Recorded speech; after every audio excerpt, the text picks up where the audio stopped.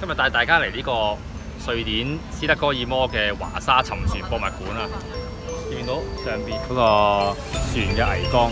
我哋去睇下船嘅真身。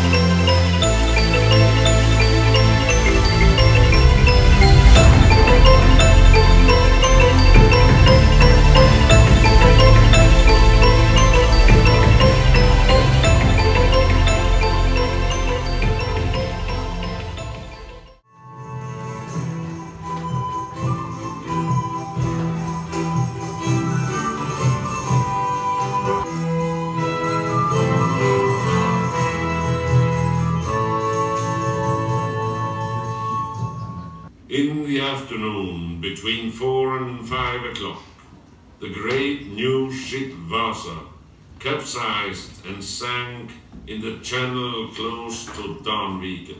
Whose fault was it? Was there a curse on the ship? Or was it a punishment by God? Was she badly constructed?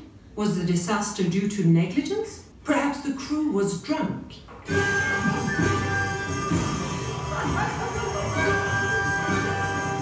Who was blamed?